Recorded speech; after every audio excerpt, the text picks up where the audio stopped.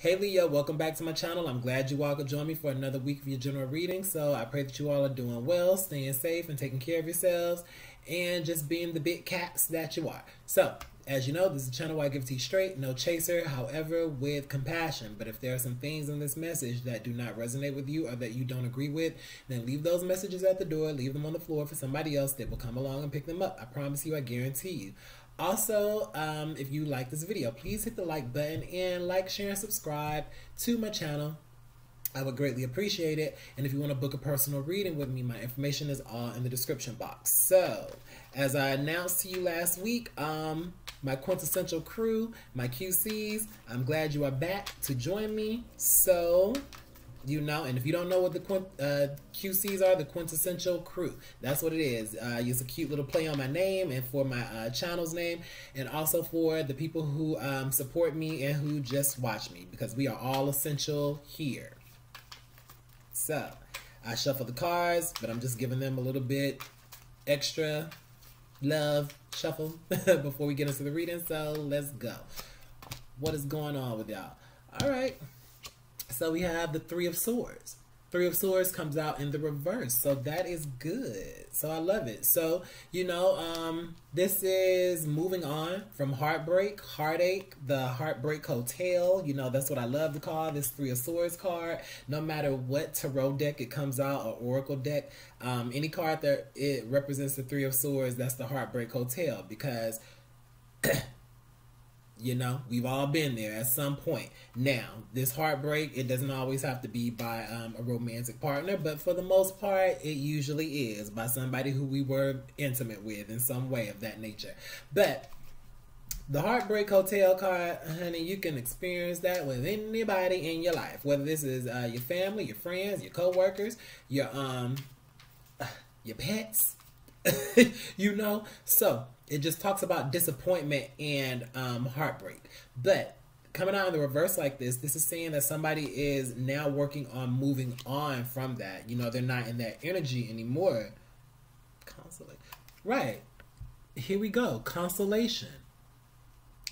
So, you know, somebody had to really probably console themselves you know, is what I'm picking up uh, from this energy. You know, just have to find a way of consoling themselves. Yeah, maybe they had some family or some friends or whoever, you know, that they could talk to and vent to. But after a while, you know, that gets old. you know, that gets a bit old, you know, just uh, singing the same old sob story to, um, you know, people, the ones who are close to us. Because eventually there needs to come a time where we really need to start working on this healing. Um, on ourselves. So instead of crying about it and complaining about it and talking about it so incessantly, there comes that moment when we have to just say, you know what? Maybe I should just shut my mouth. you know, and I've been guilty of that too. Um, so that's why I can speak very freely and honestly about this. So I don't want to offend, offend a friend. You know, if you want to be friend, we're all friends here. Okay, so let's talk it. Um, I don't want to offend anybody who is currently going through the heartbreak or the disappointment, but just know that there's always the other side of the storm. You know, after the storm, then the rain. I mean, after the rain and the storm comes, then the sun comes back out. You know, the uh, rain actually helps clear the air. So there are some things somebody has cleared the air for themselves, is what I'm saying. So instead of being in this um, negative Nancy or negative Ned mode, you know, just harping on a situation that is long past, whatever the situation was. Now they finally just found a lot of they they they consoled themselves. You know, they found a way to just get out of this, and um, yeah, just looking looking on the bright side. You know, looking up from the situation. Once we pick our heads up you know, because we have a tendency if we're feeling down in the dumps, then we're just always down, right? We're looking down. But it's like, up. Oh, universe said, pick that chin up, look forward to what's ahead of you, and let's keep going. We still have work to do. We still have responsibilities and things that we must do, you know. Um, it's okay to be in Heartbreak Hotel. You know, I always say this. It's okay to be in Heartbreak Hotel. That's what Heartbreak Hotel is. That's what the hotels are for. You go and you stay for, you know, uh, um, however amount of time. The thing is, we never want to get stuck there. You know, it's like the Hotel California by the Eagles. If you've never heard that song, it's a 70s rock song. I love that song. But um that song pretty much was saying how people get caught up and you know, uh get wrapped up in the obsessions, temptations, and things of that nature, and just toxic patterns or behaviors that keep them stuck somewhere. Same thing with Heartbreak Hotel, because if we stay there for too long, we start to become very toxic. We start to become very toxic to ourselves. We start to become very um, toxic to the other people who are around us as well, because when we're in that negative energy, we become very pessimistic about things. All right, so next we have the Four of Pentacles. And then we have the um, Despair card. So, you know, this Despair card, it actually came out for Aries reading. It came out in the same position, honestly. Um, I feel as if in the past, someone was holding on to something so tightly that that was really all that they could focus on. Whether they were uh, okay, maybe somebody was focusing on this um this heartbreak hotel situation right there. Uh, maybe somebody was too wrapped up in that, and they were just holding on to the pain. So yeah, that's it. Holding on to this despair. That's another point that I was going to say before the um I flipped these cards over. Um, when we visit Heartbreak Hotel or go to the place of um, of shit. you know, when shit hits the fan and then we're just, you know, going crazy right there and just stuck in like some emotional turmoil.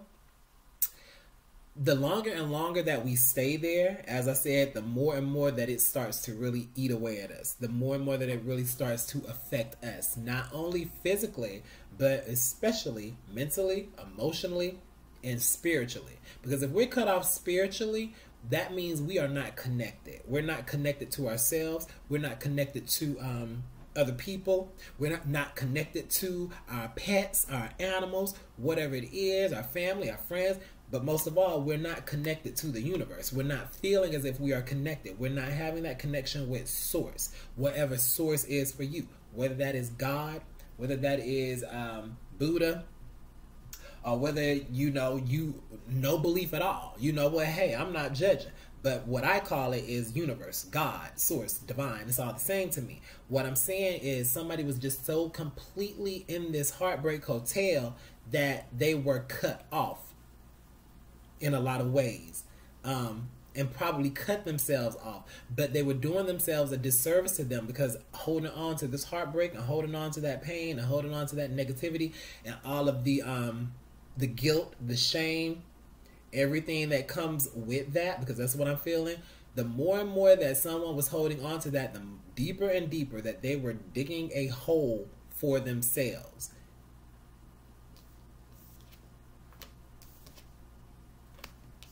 Next, we have the Wheel of Fortune. Comes out in the reverse as well. And then frivolity. so I just feel as if with this energy, um, you know, with this wheel, I always say it, what goes up must come down. But sometimes when things are up and when we are not paying attention, when we are not um, um, trusting our intuition, when we are not taking action or taking charge or doing the things, being responsible for the things the way that we should, then we have a tendency to be here and then we start going downhill, you know? So I feel as if with this energy right here and with it coming out with the frivolity card, someone had to, someone, someone's working on changing. Someone's working on changing. So, changing different, okay, yeah, like changing past, changing past, changing, going, moving forward into a destiny, um, whatever destiny is for them, you know, whatever that new path is for them. But it takes uh, transformation for them to do that. But I just feel as if um, also what this is saying is someone was giving too much uh, time, attention, resources to other things instead of giving them, them themselves themselves that time, that attention, that um that nourishment that caring you know just finding self-worth within themselves. So just kind of looking for um looking for self-worth and love and uh, whatever it was that they thought that they needed from other things and other people, they were looking for those things in um, others. But they needed to uh, they needed to do a complete turnaround for themselves. They needed to do a complete transformation for themselves. So I just feel as if that is why now we are in this energy of um, you know, healing the heartbreak, you know, just being our own comforter uh, being our own comforter, pretty much. Now, Shai is going through my head. Y'all, these songs have just been rocking my brain all week long. I'm in I'm like 90s mode, like every single day. I go to sleep with a song in my head. I wake up with songs in my head throughout the day, just songs, songs, songs. Then I'm doing all of these readings. Um, so if you have any other placements in your chart for any other um, zodiac signs here, go check out their videos and I'm sure you'll hear more songs right here. But Shai was a R&B group from the early 90s and they had a song called Comforter. It was a very popular song. So somebody had to learn how to be their own comforter instead of um, looking for other people to take comfort in or to shield them in a way. You know, somebody had to really just transform and change and do things differently um, for themselves because this is I just feel like codependent codependency, you know, or something here. You know, frivolity talks about uh, being very, very um, uh, free with giving away something or just always seeking something, fluttering like this butterfly. You know, it represents change and transformation, which is what I was talking about. But also, butterflies, you know, they don't stick to one flower or one plant or something. They they're fluttering. They're always fluttering. They're beautiful animals, but they're always fluttering. They're always going about which is fine for the butterfly because that's what they do. But us as humans, um, our job is to flock to here first, flock to ourselves instead of flocking to other things and other situations, thinking that they're going to bring us some kind of relief or some kind of comfort. Here we go with the Eight of Pentacles in the reverse, and then the Soldier card. It's been a battle. Love is a battlefield.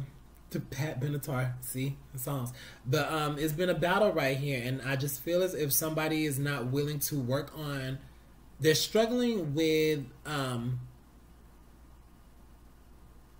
hmm, struggling with investing in like something past like a past relationship, a past job, or past something, whatever this was that maybe brought them this uh, heartache in the first place. You know, maybe this is something that they've been struggling against and having to really um, soldier on with it. As I said, whoever here was in this place of despair or whoever was in this place of heartbreak, you know, it could have been um, more than one person as well.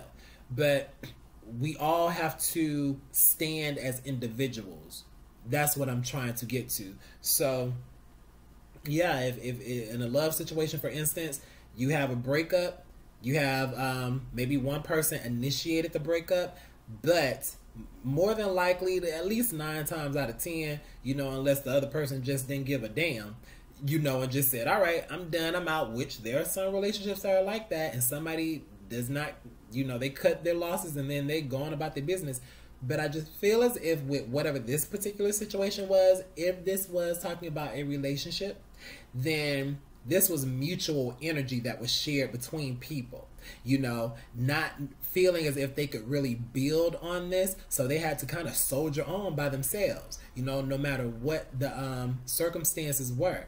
So it people just really had to to to gear up, you know, for themselves. Um, fight for themselves too and fight for whatever it was that they were that they're wanting to build within them. So you again um, leo apply this energy to wherever it goes. It does not have to be relationship but that is usually the most simplest terms to put it in where people understand and let's keep it real. Um, people usually seek readings or look at readings because it's dealing with a love relationship. But that's not always the case. Um, there could have been a virgo involved with this. Interesting, uh, because the Eight of Pentacles, you know, it just talks about um, Virgo energy right there. So, you know, if this is not you, this could have been with a Virgo, you know. So, are any Earth signs? I'm feeling like Earth signs, especially with these Pentacles, you know, coming out right there. So, um, Earth signs are Taurus, Virgo, uh, Capricorn, right there. But um, yeah, somebody had to really just soldier up, soldier up for themselves are both people or whatever the uh, case. Next, we have the Nine of Wands in the reverse, and the Queen of Cups in the reverse as well. These actually both came out for um Aries. I mean, um, yeah, Aries reading, and then Scholar right there. So, I feel as if with this energy, somebody might be coming off or they've come off as maybe a bit emotionally cold. And I just feel as if they're doing this or they had to come off this way because whatever happened right here with the heartbreak and just um, getting over it, um, you know, and maybe put someone in a position of maybe feeling a bit, uh, what is it? You know, when we have that tendency of when we go through a heartbreak or when we uh, get disappointed or something, you know, it just puts us in that tendency sometimes to say, well, I'm just not going to try again. I'm not going to give anybody else a chance. I'm not going to do that. So, you know, I just feel as if somebody might be um, just maybe emotionally cold right now, maybe cut themselves off uh, emotionally. And maybe they're doing that just so they can stay focused, so they can stay focused on their own goals, so they can stay focused and stay shielded, you know, from any potential future heartbreaks or anything. But, you know, what this is saying to me, you know, which nothing wrong with that, especially if you're fresh off a heart, um, a love situation or some kind of situation of that nature, then yes, take that time for yourself. However, we are human we still feel, we still have feelings, we still, um, you know, have uh, needs. We have the need to be loved, and we have the need to love as well. You know, that's what makes the world go. I was about to say the girls go round. that's what makes the girls and the boys go round. Okay, love. But um, you know, taking time out to um you know, put your heart on ice, that's okay sometimes. However, take the heart out of the ice box. Don't let it sit in there too long. Don't let it freeze over. That's what I'm saying. So, you know, take time out to get to know you, to heal yourself, to understand yourself, to, um, you know, uh, what's the word I want to say? Because now I'm looking at this soldier card. Debrief, you know, uh, that's what I'm getting after like a when a when a battle or something happens like during war, then you know the military they debrief right there. Take time now to debrief. So I feel as if somebody might be debriefing right now. They're debriefing everything that has occurred, that's gone on with this, and you know that the heart might be on ice for a moment, but um, you know that's I think that's just for them to get in a better place. So, Leo, and I'm surprised that wait okay no we did have uh, fire energy right there. I'm like geez we had a whole Leo reading and no fire energy with the nine of wands that came out um you know in the reverse right there but it's all right. Anyway, Leo, um, I hope you all enjoyed this video. Please like, share, and subscribe to my channel. And if you want a personal reading, my information is in the description box. I will talk to you later. God bless you. Stay safe. Bye bye.